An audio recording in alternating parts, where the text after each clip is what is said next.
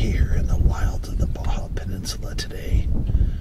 We're in Las Barrancas on the Pacific coast of the Baja Peninsula, where we have a turkey eagle, a Las Barrancas turkey eagle, that has captured a fish out of the ocean and has brought it to his perch, where he is devouring the lungs.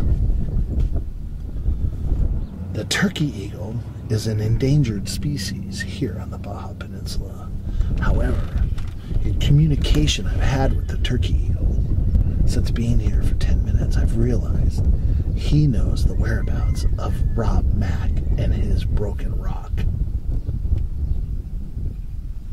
He's just telepathically provided me with the GPS coordinates of where Rob Mac's broken rock at Asan San Javier is located.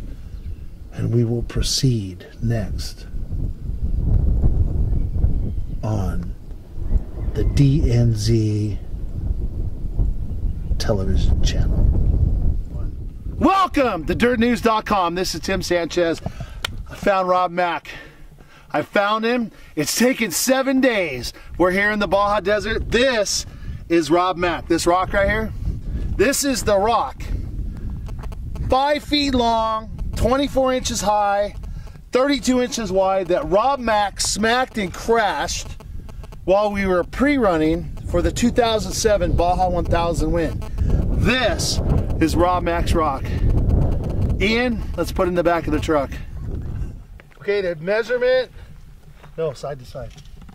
Side to side, 34 inches wide by 36 inches long. That's the first half. We already know how wide it is. 24 inches. So it's five feet long by three feet wide, basically. By how tall? This, What are you guys measuring? this right here. Ah! God damn it! I said it was gonna happen. Look at that. You got me right there. You see that?